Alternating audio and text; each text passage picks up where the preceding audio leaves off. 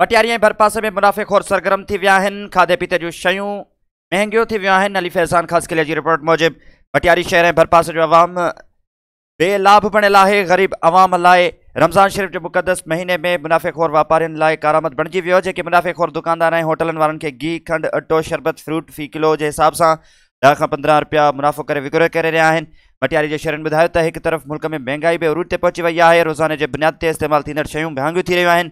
मथां वरी आम माण्हू अटो खंडु गिह फ्रूट वठण लाइ वञे थो त दुकानदार पंहिंजो रेट मुक़ररु कयूं वेठा आहिनि। मुतालबो कयो त मुनाफ़े खोरनि ख़िलाफ़ु कार्रवाई करे शयूं कयूं वञनि।